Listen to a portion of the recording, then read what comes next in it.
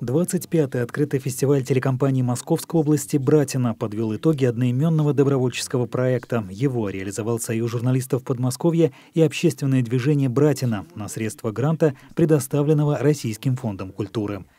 Проект стартовал 1 июня. Его участниками стали сотрудники подмосковных телекомпаний – Журналисты изучали состояние памятников истории и культуры, народных художественных промыслов, музеев, библиотек, проводили исследовательскую работу, учили создавать качественные видеоматериалы в сфере культуры.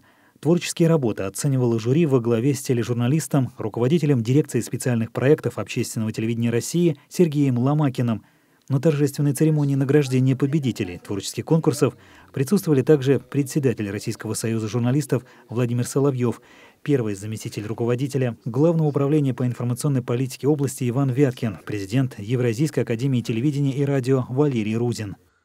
Братина совершенно уникальный формат. Э, я очень много езжу по стране. Э, такого больше никто нигде не делает.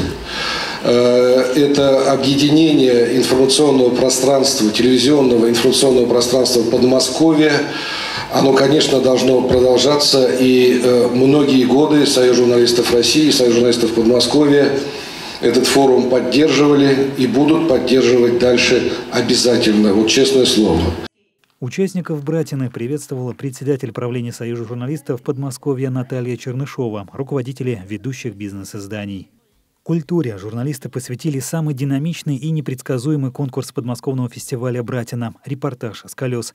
Съемочной группой телекомпании области выполнили редакционное задание, подготовили к эфиру репортажи о работе Сергеево-Посадских музеев и библиотек — по результатам зрительского голосования сюжет Щелковского об историческом отделе Государственного историко-архитектурного музея-заповедника занял третье место. Диплом третьей степени жюри фестиваля присудила ТРК Щелкова в номинации «Лучший презентационный ролик об учреждениях культуры» за материалы о Щелковской центральной библиотеке. Но это еще не все трофеи, завоеванные нами на Братине – специальный приз самому активному участнику фестивального движения, учрежденный в памяти о вице-президенте Братины Александре Гавриловиче Новикове, статуэтку «Гаврилович» оргкомитет вручил генеральному директору телерадиокомпании Евгению Дакукину.